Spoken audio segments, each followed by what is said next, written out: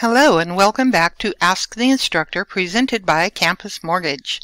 Today's question is, is a property with a rented accessory unit over the garage and a basement in-law suite acceptable? Great question. As a senior underwriter, here are my thoughts. The home must be a single-family residence and may not have more than one accessory unit. In-law suite, carriage house, Ohana suite, pool house, or basement apartment are all same names for accessory unit.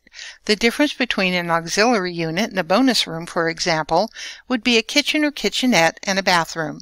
So this property with two ancillary units is not eligible for delivery to Fannie Mae. Furthermore, rent from the accessory unit is not allowed in qualifying income except on HomeReady loans. This concludes our video. As always, don't forget to download our course catalog at campusmortgage.org.